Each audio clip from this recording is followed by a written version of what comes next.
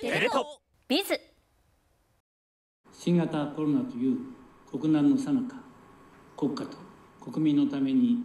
尽くしたいという高い志と使命感を持ち国家公務員の道を自ら選んだ皆さんを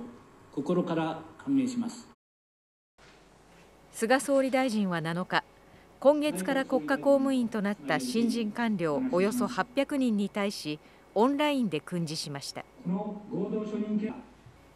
訓示の中では総務省幹部の違法接待問題を念頭に国家公務員倫理法違反などで国民の信頼を損なう事案が発生したことを深く反省しなければならないと述べた上で